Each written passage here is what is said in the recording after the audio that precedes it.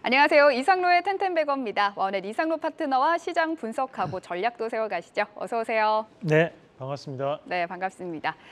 네, 이팔 전쟁과 미중 갈등 우려가 존재하지만 외국인은 이틀째 코스피를 사고 있습니다. 특히나 삼성전자를 집중 매수하고 있는데요. 또 오늘 현대기아차도 오랜만에 상승하고 있죠. 코스피 외국인 수급이 오후에도 계속 들어와, 들어올지 좀 체크를 해봐야겠네요. 오늘 장은 좀 어떻게 보고 계세요? 네, 어, 이스라엘과 팔레스타인에 대한 분쟁이 좀 더 확대가 되는 그런 양상들이 좀 나타나고 있고 어, 그렇다 보니까 현재 시장 자체에 대한 부분에서 우리가 어떻게 포지션을 잡아야 될지에 대한 부분을 우리 시청 자분들도 헷갈리실 것 같습니다. 어, 뭘 뭔가를 이제 꾸준하게 가져가면서 나는 이 종목으로 100%를 볼 거야, 뭐 또는 이제 1000%를 볼 거야, 나는 텐베거를 한번 노려볼 거야 하던 마음들도 이렇게 시장이 흔들리다 보면 아, 우리가 또다시 이제 마음이 약해지기 마련이고 실질적으로 그렇게 들고 가지 못할 때도 많습니다. 내가 예상하는 장기 투자는 평온하게 꾸준하게 상승하는 종목을 예상들을 다들 하지만 실제로 장기 투자를 하다 보면 상당히 그 중간중간 우여곡절이 많이 발생할 수밖에 없습니다. 어, 이럴 때 이제 가장 중요한 것이 바로 가격이라는 부분입니다. 어, 그러면 현재 포지션은 우리가 명확하게 가져갈 필요가 있는데요. 다시 한 번 더 말씀을 드린다면 우리가 대형주 같은 경우에는 결국에는 이제 안정적인 운영을 하기 위해서 대형주를 매매하는 것이기 때문에 저는 대형주는 저가 매수로 대응하고자 말씀을 드리고 있고 마찬가지로 이제 개별주 우리가 단기적인 또는 이제 수익 관점에서 한 달 내외에 대한 수익을 볼 수 있는 기업들은 말 그대로 이제 트레이딩 관점으로에 대한 접근이 필요한 시장이 바로 현재가 아닌가라는 말씀을 좀 드리면서 자 오늘에 대한 투자 포인트는 이렇게 말씀드리겠습니다. 자 대형주 저가 매수 개별주 트레이딩 네. 참 전략을 세우기가 네. 헷갈리고 어려운 시장인 것 같은데 이럴 때일수록 가격에 좀 집중을 해보자 말씀을 주셨습니다. 시장을 혼란스럽게 하는 가장 큰 주체 중 하나죠. 이스라엘과 팔레스타인 분쟁이 점차 격화되면서 오늘은 방산 테마가 좀 강한 모습이네요. 네, 맞습니다. 뭐 방산주가 뭐 하루 이틀 강했던 것도 아니고 뭐 최근 들어서 계속 팔레스타인과 이스라엘에 대한 불확실성이 확대가 되면서 강대강 대치 국면이 지금 이어지고 있습니다. 어, 오늘 같은 경우에는 이제 바이든 대통령이 이스라엘을 방문한다라는 이슈가 있음에도 불구하고 아직까지도 상당한 어, 강대강 대치 국면이 이어지고 있는 그런 양상들인데 그러면서 현재 이 방산주 안에서도 방산 테마주로 불리는 우리 빅텍이나 스페코, 퍼스텍 이 방산 테마 삼총사로 말씀드렸다 그죠? 요 종목군들이 좀 더 강한 움직임을 나타내고 있고 자 오늘 시장에서 특징적으로 강하게 움직이는 방산주가 휴니드라는 기업이 있습니다. 잠시 한번 같이 보도록 하겠습니다. 자 휴니드 같은 경우에는 과거에 용산으로 대통령실을 옮기는 이슈로 인해 가지고 한번 크게 들썩거렸던 움직임이 나타나는 기업이었습니다. 어, 그때 움직였던 이유는 바로 이제 이 기업이 담당하고 있는 것이 전술 정보 통신에 대한 시스템을 구축하는 기업입니다. 그렇다 보니까 한번 들썩거리는 모습이었고 이번에는 방산 관련된 부분 자체에 대해서 우리가 이제 보안에 대한 부분 자체 좀 더 확장되지 않을까라는 그런 기대감으로 인해서 종목이 들썩거리는 모습이라고 볼 수 있을 것 같은데 다만 현재 이제 이런 방산 테마주들 같은 경우에 대부분 다 테마성 움직임들이 강하기 때문에 우리가 등락이 상당히 크게 나타나거든요. 그래서 뭐 추격 매수에 대한 관점보다는 우리가 트레이딩에 대한 부분으로 오히려 좀 더 저가 매수에 대한 부분으로 그렇게 좀 대응할 필요가 있다는 말씀을 드리겠고 자 오늘 대형주 안에서는 LRG 넥스원이 또 강한 모습을 보이고 있는데 LRG 넥스원 같은 경우는 이제 미사일에 대한 수출 얘기가 나왔을 때 들썩거리는 기업이기도 합니다. 다른 여타의 방산주보다는 좀 더 강한 모습이 나타나고 있기 때문에 그리고 만약에 우리가 이스라엘이라든지 또는 이제 팔레스타인 관련된 부분 자체에서 지원 이야기가 나온다면 이런 미사일 관련된 또는 이제 탄두 관련된 얘기가 나올 수 있는 상황들이 있기 때문에 그래서 지금 시장에서 이런 어, 미사일이라든지 또는 이제 탄두 관련된 기업들에 대한 움직임이라고 추정을 하고요. 그래서 우리가 독수리 오형제, 어, 대형주 방산주 안에서는 그래도 LIG넥스원이 좀 더 강한 모습을 보이는 것이 좀 더 이어지지 않을까라는 말씀도 함께 드리겠습니다. 네, 5대 기업, 방산 기업 중에서는 좀 LIG넥스원을 조금 유망하게 보신다고 했고 나머지들은 방산 테마주 강한 모습 짚어주셨습니다. 또 오늘 휴니드는 미국 군용 무인기 기업의 부품을 독점 공급사로 선정됐다는 뉴스가 나왔다는 점도 참고하시기 바랍니다. 두 번째 체크 포인트입니다. 에너지 관련주들 오늘도 강하네요. 어떤 종목이 좀 강할까요?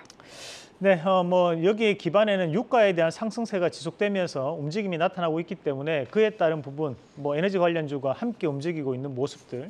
그리고 이제 우리가 이 증류탑을 통해 가지고 LPG에 대한 생산이 이루어집니다. 그렇다 보니까 LPG에 대한 가격적인 상승, 그리고 글로벌적인 부분 자체에서는 천연가스에 대한 가격 상승이 이루어지고 있다 보니까 전반적인 에너지 관련된 기업들에 대한 강세가 나타나는 게 현재 시장의 움직임이라고 볼수 있겠습니다. 어, 특히 이제 대형주선 안에서는 이제 GS 한번 같이 보도록 하겠습니다.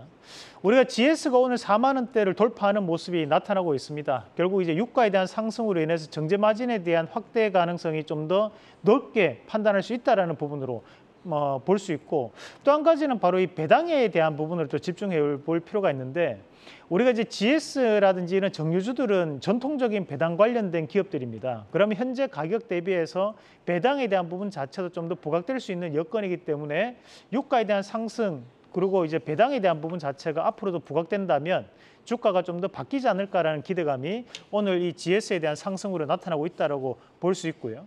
저희가 이제 추천해드렸던 기업은 이제 SK 가스였습니다. SK 가스가 오늘 다시 한 번 더 신고가를 쓰면서 강하게 움직이는 양상들이 나타나고 있는데 SK 가스 같은 경우에는 LPG와 LNG를 모두 다 담당을 하고 있는 기업입니다. 그래서 이런 가스 관련된 기업들은 연말까지도 이런 수요가 증가할 수 있는 가능성이 있기 때문에 앞으로도 좀 더 수익을 극대화시키는 전략으로 말씀을 드리겠고 마찬가지로 이제 대성에너지도 한번 같이 보도록 하겠습니다.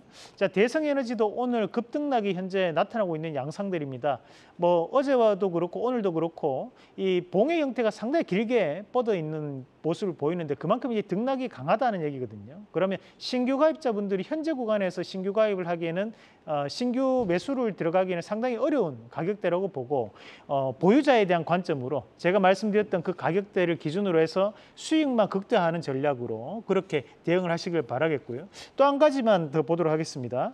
오늘 중앙에너비스 한번 같이 보도록 하겠습니다. 이 중앙에너비스 같은 경우에도 주유 서비스 담당 기업인데 어, 사실 지금 현재는 이런 유화라든지 또는 이제 정유 관련된 기업들이 모두 다 들썩거리는 모습들이거든요. 그러면 어, 이런 트레이딩 관점으로 접근하시기 좀 힘드신 분들은 오히려 정유 관련된 종목군들 안에서도 배당 관련과 함께 엮여 있는 기업들을 좀 더 눈여겨보시는 전략으로 말씀드리겠습니다. 네, 좋습니다. 마지막 체크 포인트 오늘 섬유와 의류 관련주도 좀 강한 모습이라고요.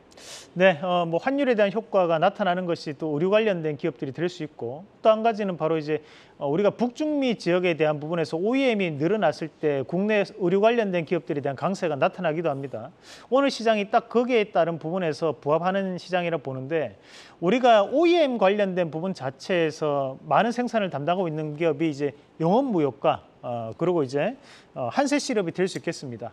어, 우리가 이제 국내 메이커로도 많이 알려져 있는 노스페이스 같은 경우에 사실 국내 메이커는 아닙니다. 미국에 대한 상표권을 받아왔던 입장이었고 어, 그렇다 보니까 이 영원무역에 대한 상승세 자체는 이제 3분기 실적에 대한 개선 가능성에 대해서 좀 더 시장에 대해서 부가치를 두고 있다고 보고요. 마찬가지로 한세실업의 바닥권역에서 조금 바뀌는 움직임들이 나타나는데 여러분들이 아시다시피 이제 갭이라든지 이런 브랜드에 대한 OEM을 담당하고 있는 기업이 또 한세 시럽이거든요. 겨울로 갈수록 마진폭이 개선되는 것이 바로 이 의료주입니다. 그래서 이런 OEM 관련된 기업들은 좀 더 눈여겨볼 수 있는 전략으로 말씀드리겠습니다. 네, 겨울에 더 눈여겨볼 OEM 관련주들까지 살펴봤습니다. 오늘 조금 더 살펴볼 관련주 다시 한번 살펴보자. 배당주로 들고 오셨네요. 네, 맞습니다. 어, 우선은 이제 우리가 이 배당주를 말씀드리면서 공약을 했던 기업이 이제 삼성카드였습니다. 그죠? 이 삼성카드를 말씀드릴 때 이 삼성카드가 배당으로 따진다면 약 8에서 9% 가까이가 어, 작년에 배당을 했던 기업이기 때문에 우리가 미리 배당주를 좀 선점할 필요가 있다 말씀드렸었는데 지금 뭐 수익도 10% 이상 올라왔고 마찬가지로 배당에 대한 부분도 기대할 수 있는 자리라고 봅니다. 어, 이런 낙폭과대 배당주에 대한 부분은 우리가 좀 더 눈여겨봐야 될 것 같은데 어, 우선은 이제 전통적인 배당주라고 불리는 것이 정유, 은행, 보험, 리츠사 같은 기업들이 존재를 하고요. 다음 그림 한번 같이 보도록 하겠습니다. 어, 우리가 이제 낙폭과대 갈로 돼 있는 것이 작년에 했던 배당 어, 그 가격입니다. 그래서 이런 낙폭 과대가 심했던 기업들은 이런 배당 수익률을 따진다 약 5에서 9%까지 나오는 자리들이기 때문에 우리가 꼭 눈여겨 보시는 전략으로 말씀드리겠습니다. 네, 아 이렇게 한눈에 보니까 정리하니까 정말 편하네요. 그래서 오늘의 원픽은 무엇일까요? 네, 이 중에서 기업은행 한번 같이 보도록 하겠습니다. 어, 우리가 이제 배당주는 미리 말, 미리 매수를 하시는 게 좋습니다. 기업은행 같은 경우에도 우리가 현재 고금리가 이어지고 있고 실적에 대한 개선 추이가 나타나고 있습니다. 우리가 수신과 여신의 업무를 담당하는 기업이 이 기업은행인데요. 어, 양쪽에서 다시 한 번 더 어, 재평가가 나타나고 있는 기업이다 보니 어, 좀 더 눈여겨볼 필요가 있고 작년에 960원을 배당을 했습니다. 그럼 현재 가격으로 따지더라도 약 7에서 8% 정도 배당 수익이 나오거든요. 그래서 이런 기업은행, 어, 다른 은행주들도 마찬가지로 눈여겨보신 전략으로 말씀드리겠고 1차적인 목표가를 잡은다면 13,200원, 그리고 손절가는 1,500원 제시해 드리겠습니다. 네, 오늘의 원픽은 기업은행입니다. 오늘 말씀 여기까지 듣겠습니다. 고맙습니다.